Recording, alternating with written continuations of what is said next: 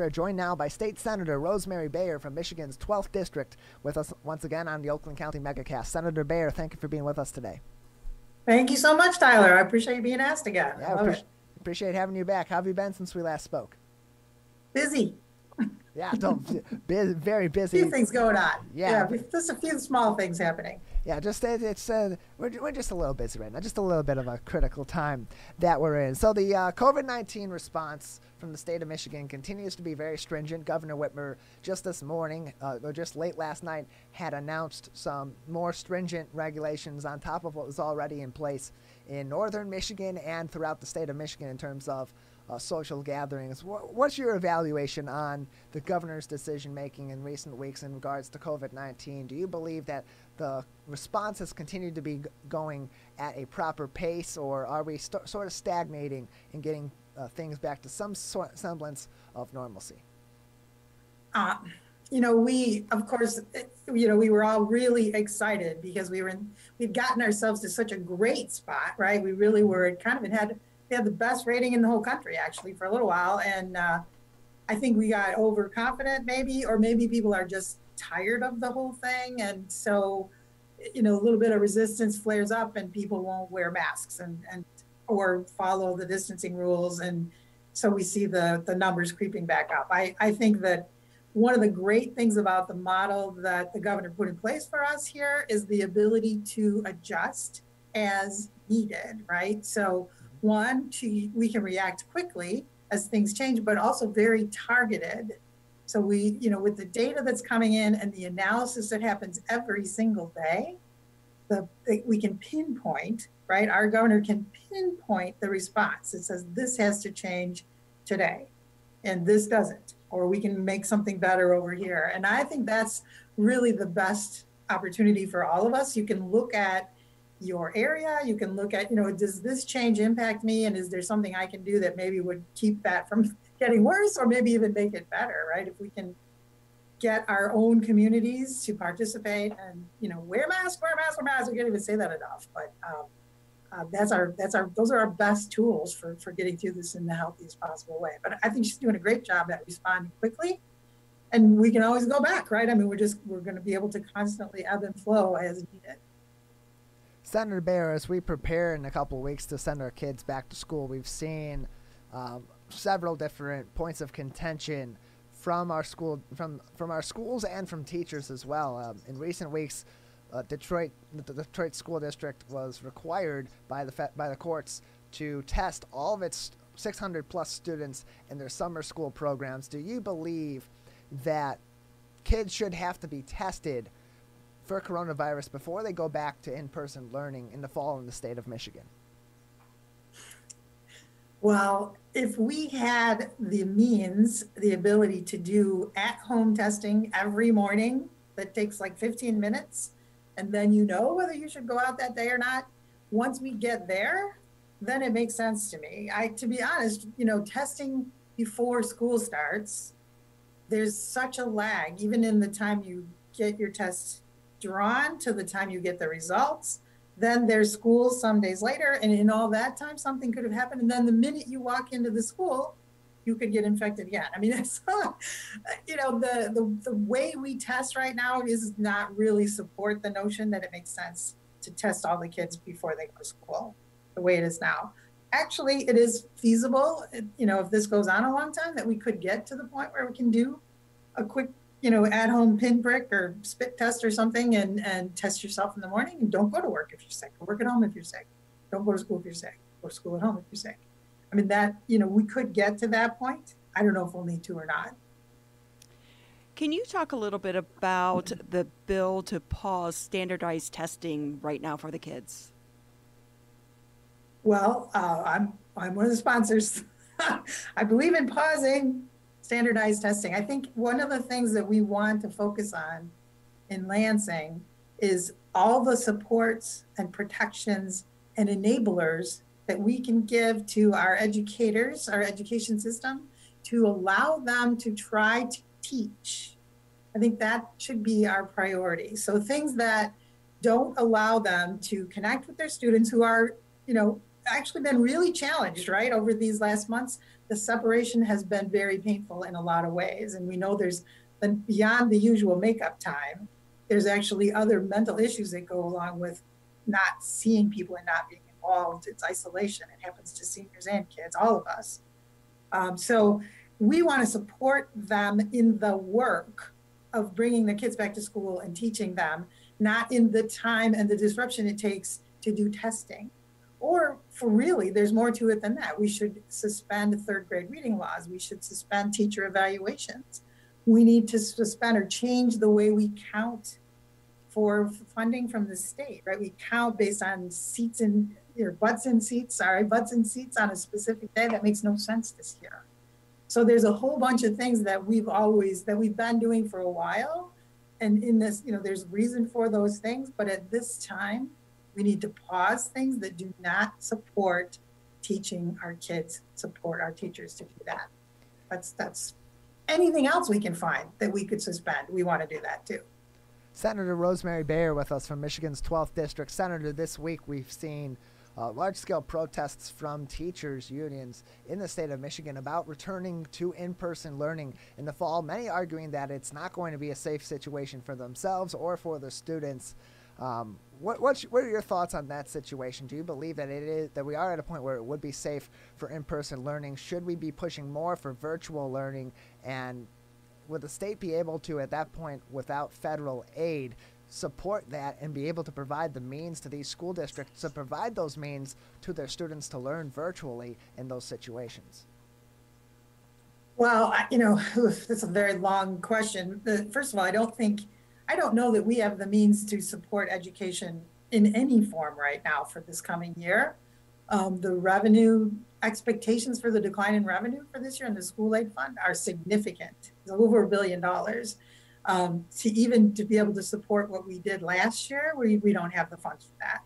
And one of the things we know is whatever model turns out to be the, the one that your district chooses, whether it's full-time in person, whether it's hybrid model, or whether it's full-time at home, all of those things are going to cost more than they did last year. So we don't have the money that we had last year. We for sure don't have the money to do more than that, right? So we must continue to push on the federal government to get some support for our education system just to be able to have school. It's really, you know, that's it's that it's that black and white almost. So um, the the other problem, you know, I'm on mostly budget committees. We've talked about that before. The school aid budget is by far the biggest chunk of our discretionary spending in the state. So you we can't even really steal enough from the other budgets, even if that was appropriate um, to find a way to make up for it is really hard. I, I, it is the primary focus, I think, in all the budget meetings that I've had and conversations I've had. It's, you know, there's health of people and education. Those are the top two things. So everyone is trying to find a way, uh, but we are really short on money for, for how to do this. Uh, so the first question, part of the question was whether it's safe for teachers. And I, you know, I think that that is still in question, to be honest. I, I know the most recent study I I read shows that kids are spreaders of the disease, and the taller you are, the more likely adults are to catch it from you. Um, that young young kids are less contagious, perhaps, for adults because they're so much shorter and their breath is lower down than we typically. Now, I will say, having been in lower elementary classes, I have sat on the floor with kids and teachers who sit on the floor with kids all the time. So I don't even know if the height thing is going to work.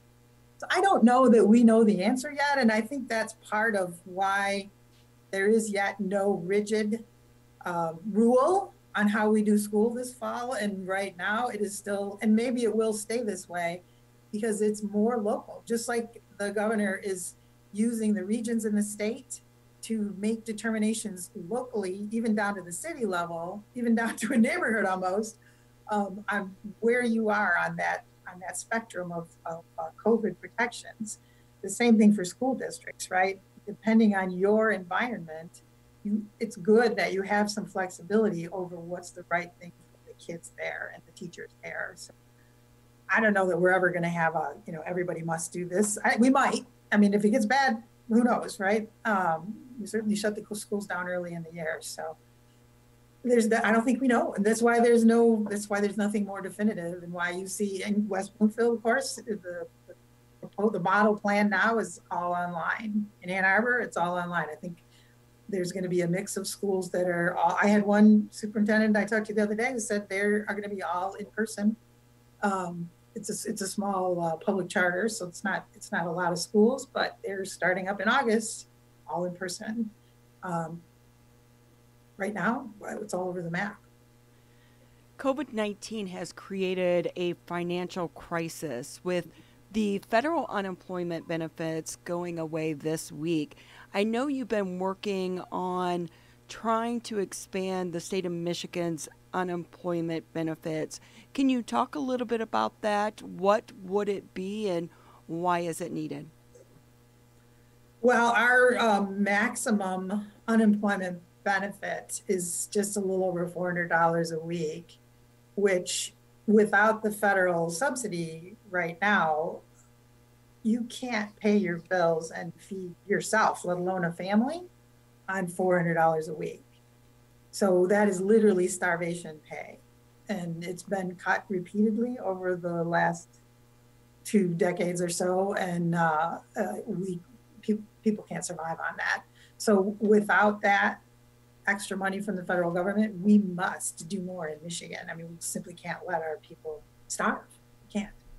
So um, the uh, eviction moratorium has ended for the state. I know some counties are continuing that, and there's some grant protection for landlords and people who need more additional help with eviction issues. But um, you know, given the if this continues as it is, and we continue to have the numbers of people that we have on unemployment, um, we're going to have to relook at all those basic needs at the state level. And we have proposed that in the Senate. Um, I think that has been uh, proposals in the House as well to raise the the unemployment rates for all the residents and so far, we have not been able to get a hearing on any of those Democratic bills.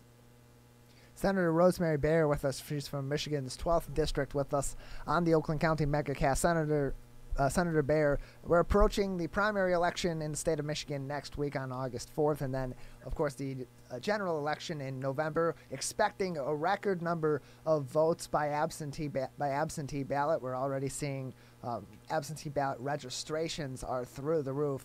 Uh, now, with the, of course, bill that was passed uh, through the election in 2018, the constitutional amendment allowing for no reason absentee voting. But there are concerns with that. Uh, with that being in, in place here in the state of Michigan, about there being an influx of mail in ballots, those having to be into their local clerks by the time that polls close on election day and of the general security of the election because of the influx of mail in ballots. Even this morning, the president had tweeted suggesting the possibility that we should consider uh, suspending the election or postponing the election until it would be safe to do so. What are your thoughts on the mail-in ballots and being able to submit them in, in a timely manner and what help the state may be able to provide to voters to ensure that their ballots do get in uh, on time without them having to submit them several weeks out from the election when they're making these critical decisions. Yeah, yeah, I don't, I don't think anybody planned for the budget cuts that have been happening in the post office and the postal service. That's a big piece of some of the challenges we're seeing in delays in delivery. I know I personally experienced things coming in the mail that were were put in the mailbox two months ago even. So um, yeah, we're going to have to you know talk about changing dates, timelines for November. Uh, we do have right now. I think we're worried about next week, and I there is a, website that people can go to. If I I want to just make sure everybody hears this, it's you go to mi.gov/vote you can, within a minute, check the status. If you've put your ballot in the mail or in the box at your uh, local uh, township office or city offices, you can check the status of your ballot if it's turned in. They haven't opened it, of course, but you can see if it's been turned in. If it has not, and you should probably go, I mean, think about going over there. Here's your option go over to your location, your municipal location, your clerk's office, and have them spoil that ballot, give you a new one. You can then vote right on the spot and turn it in. You can take it out, turn it in, but put it in the box. From this point on, don't be putting things in the mail. Make no assumptions that it'll get there in time for this next week, right? For August 4th. So pick it up, vote right there on the spot or take it with you and go back and put it in that box. No more mailing from this point on. And check your current status on your ballots. I checked mine. It's mi it's mi.gov slash vote. That's the best way to find out what's going on. In the future, we're going to have to adjust. I think we'll adjust dates with the, you know, we'll talk with the Secretary of State to uh, to to find to make sure that we can. We just, you know, the whole point of this voting rights initiative was to make sure everybody got to vote. And if the, now we're worried that their votes won't get delivered because of changes in the postal system, no, we're going to fix that. We got to fix that. Senator Rosemary Bayer with us from Michigan's 12th District. Just another minute or so before we have to let you go, Senator. Anything else that you'd like to touch on today before we let you go? Um, no, I think the only other thing is just to support the the education teach the teachers, the education system in general, and our teachers. Um, we need to make sure that we don't lose teachers. We're going to need more teachers than ever this year, so we need to hold on to them. So support your teachers, and secondly, wear a mask. Wear a mask. Wear a mask. Wear a mask. Senator Bayer, thank you very much for being with us today. Thank you for having me. We appreciate it. Senator Rosemary Bayer from the 12th District in Michigan with us on the Oakland County MegaCast. We appreciate having her on the program today.